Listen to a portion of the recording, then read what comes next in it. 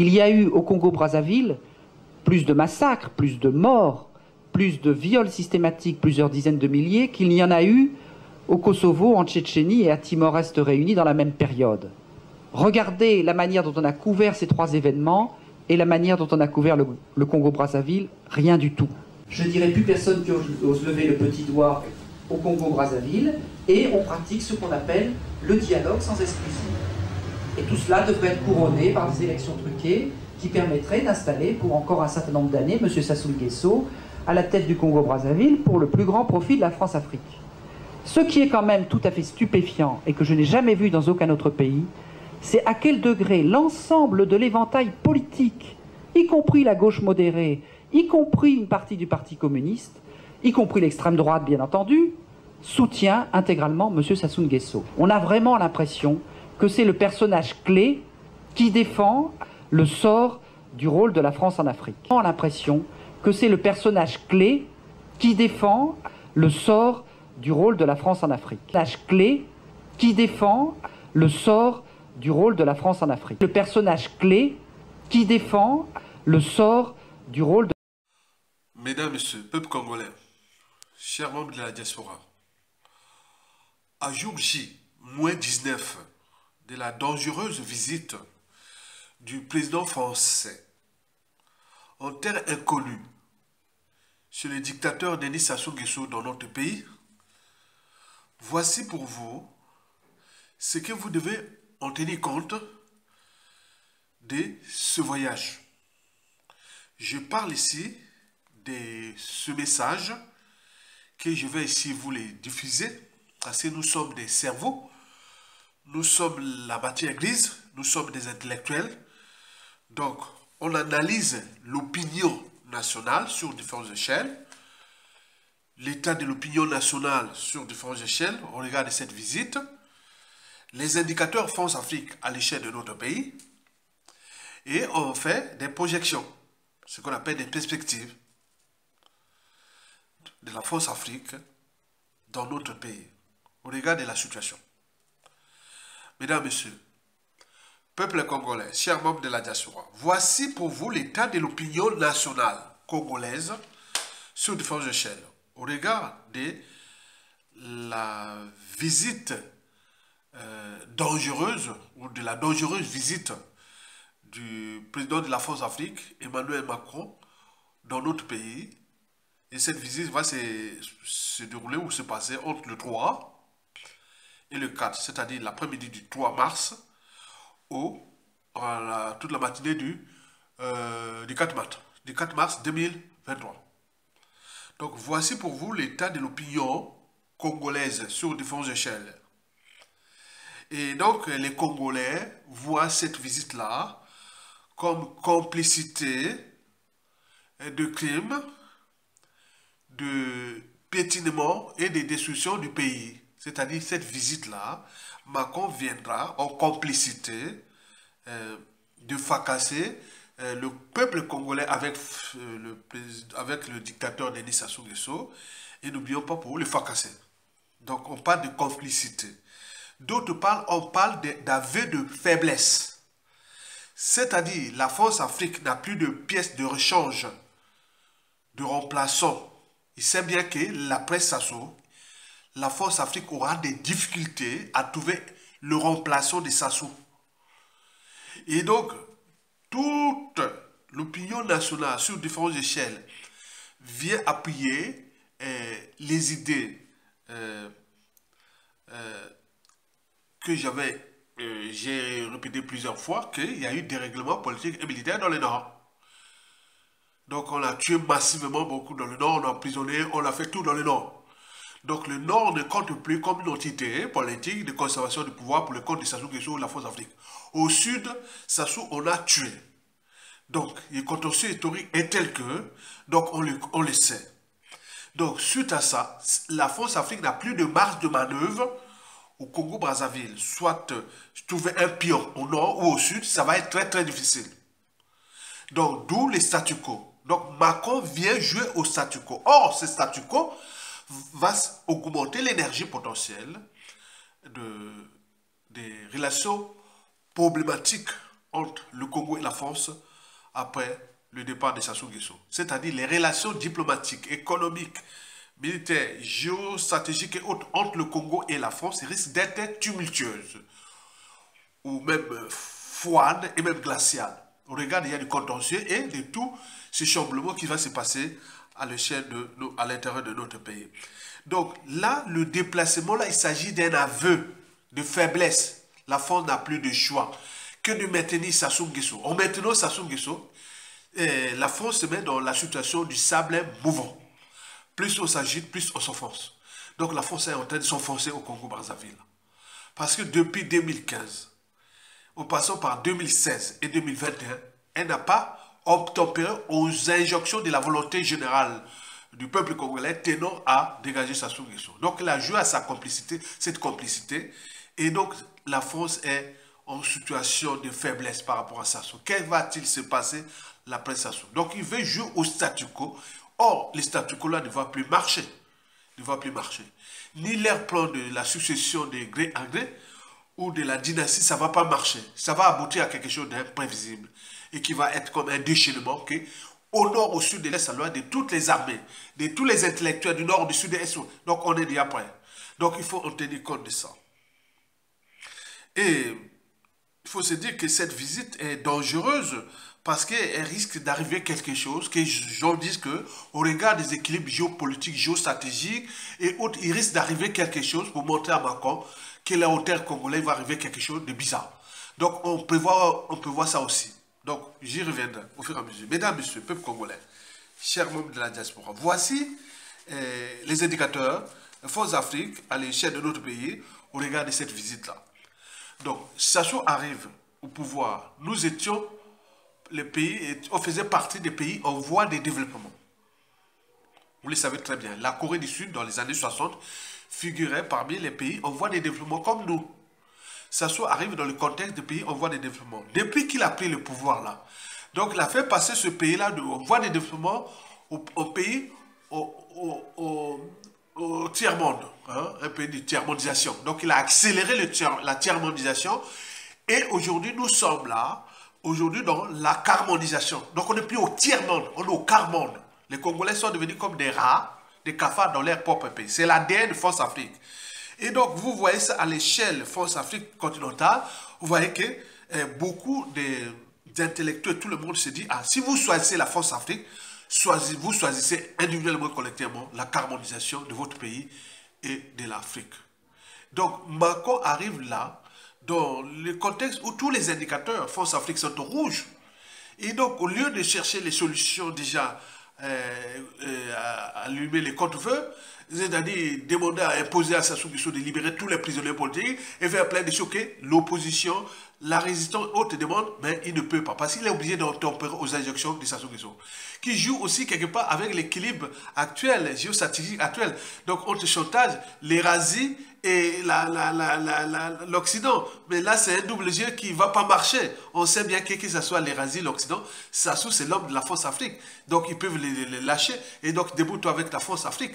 Et donc, la France est en difficulté. Donc, il faut se dire sur ça, c'est-à-dire, euh, cette visite-là, où Macron... Euh, va venir là-bas, bon, mais il faut se dire que euh, la France va avoir des soucis dans notre pays. Donc, je vais vous parler en détail. Mesdames, Messieurs, peuple congolais, enfin, chers membres de la diaspora, enfin, voici les perspectives. Vous le savez qu'à l'échelle de notre pays, les couteaux sont tirés contre la France. Ne, vous laissez pas impressionner parce que vous êtes en France. Non.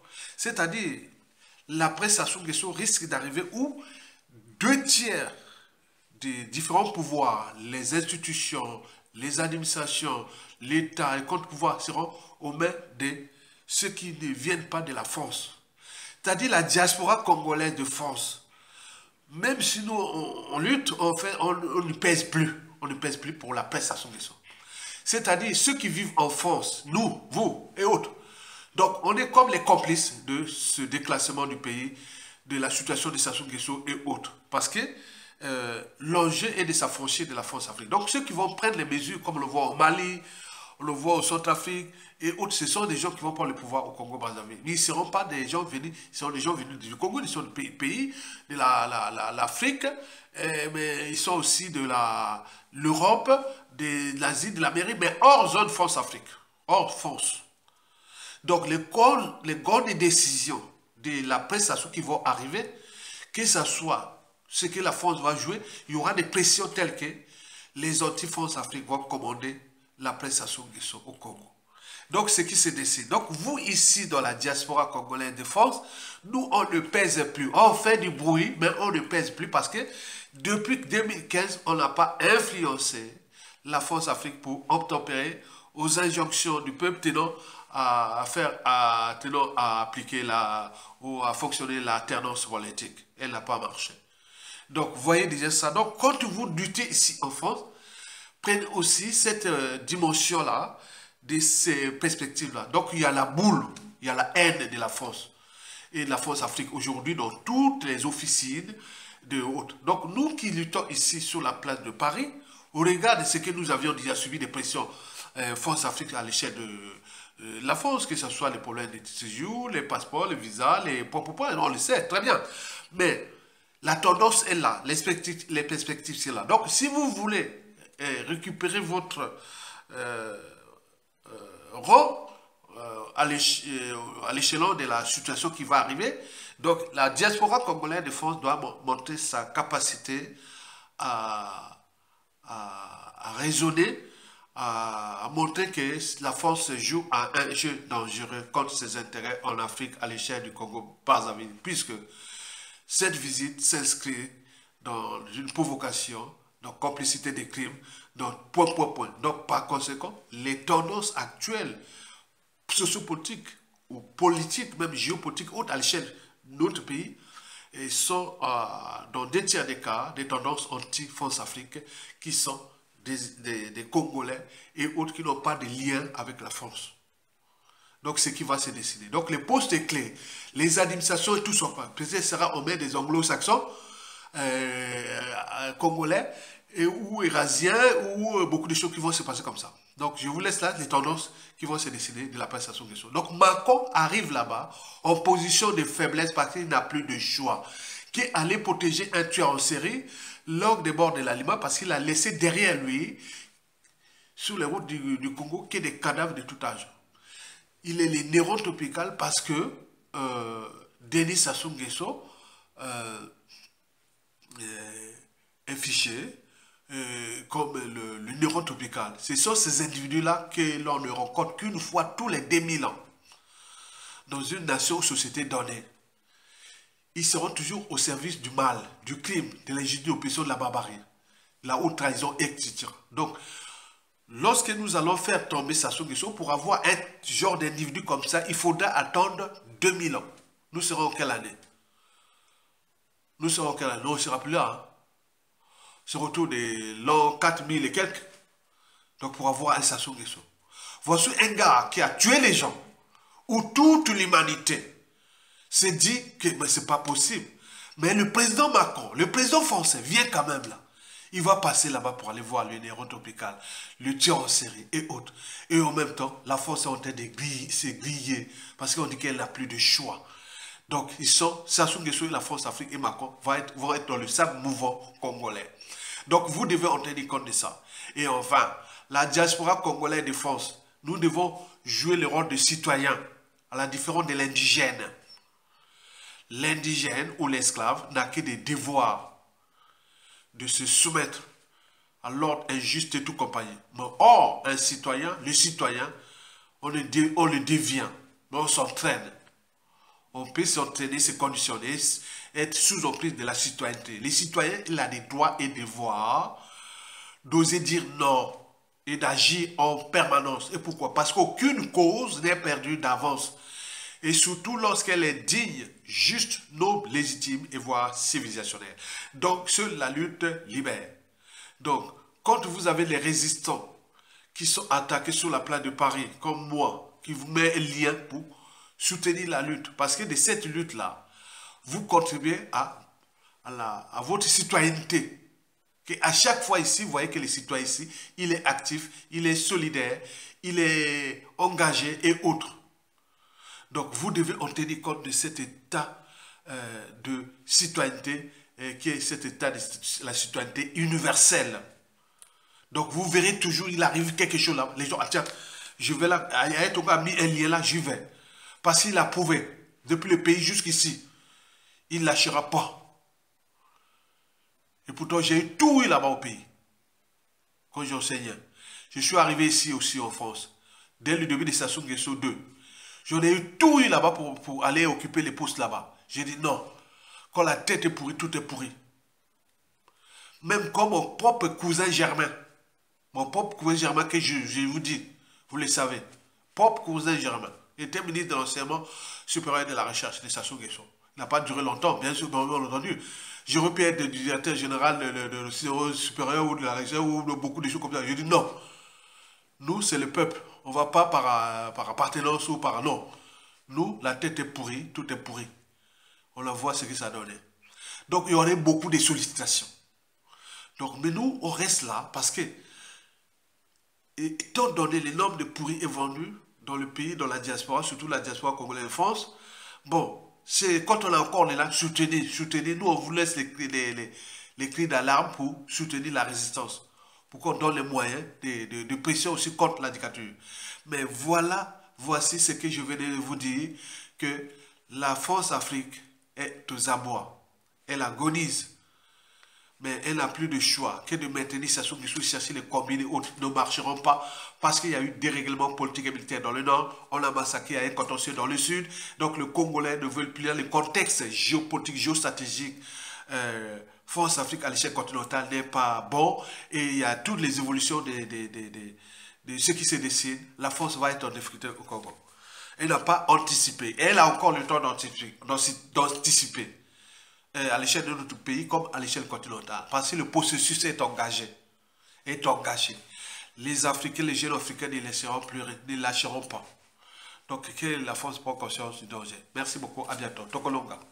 Bon au peuple congolais. Likez et cliquez sur les liens en bas pour, pour soutenir la résistance. Merci beaucoup. Tokolonga. Bon au peuple congolais.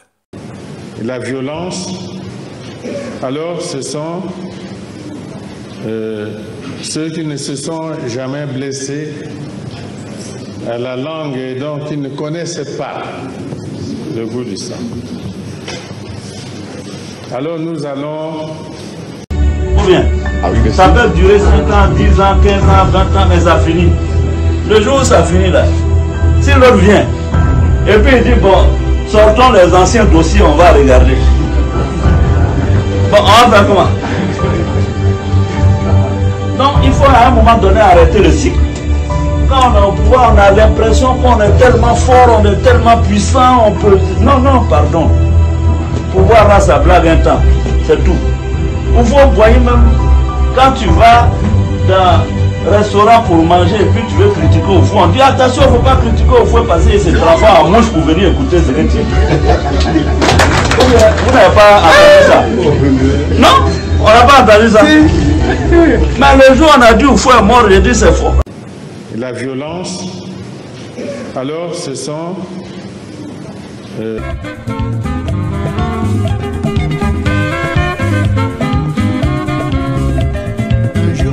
tu es bien, portant, tu es bien content.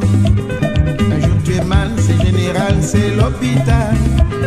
Un jour tu es riche, tu es souriant, t'as plein d'argent. Demain fauché, il faut demander la charité philosophie, philosophie, c'est ça mon vieux. Philosophie, il faut comprendre, comprendre la vie. Philosophie, philosophie, c'est ça mon vieux. Philosophie, il faut comprendre, comprendre la vie. Car un jour tu as la chance, tu peux gagner le tiercé.